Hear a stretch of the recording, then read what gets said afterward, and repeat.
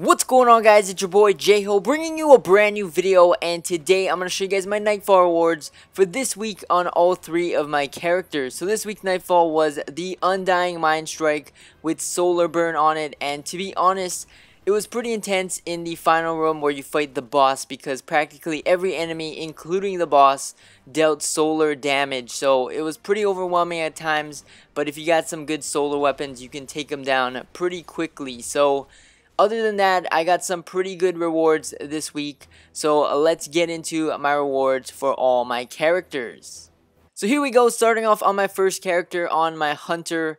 We were able to get our first exotic of the week, and we got a exotic Hunter helmet called Skyburner's Annex, one of the new ones. And my two teammates pick up an Empyrean Bellicose helmet for the Titan and a Righteous 7 auto rifle at 295. So not bad for everyone. I also was able to get some strange coins, and it was pretty good for my first Nightfall of the week. Moving on to my next character on my Warlock, we were able to pick up a legendary helmet at 290 defense, and my two teammates get a Hawksaw pulse rifle and a charged antiquated rune. So not really the greatest set of rewards for us on that one, but I do like the Hawksaw pulse rifle, so that one's pretty good in my opinion.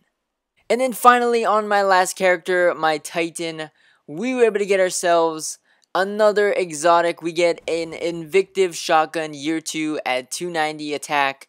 And my two teammates get 11 Strange Coins and a Knucklehead Radar helmet for the Hunter. So not bad. We're able to get two exotics out of three Nightfalls. Pretty good week for me. And we also saw some other exotics for my teammates, so that was pretty good as well. So, thank you guys for watching as always. Like, comment, subscribe, stay tuned for more videos. And I will catch you guys in the next one. Peace!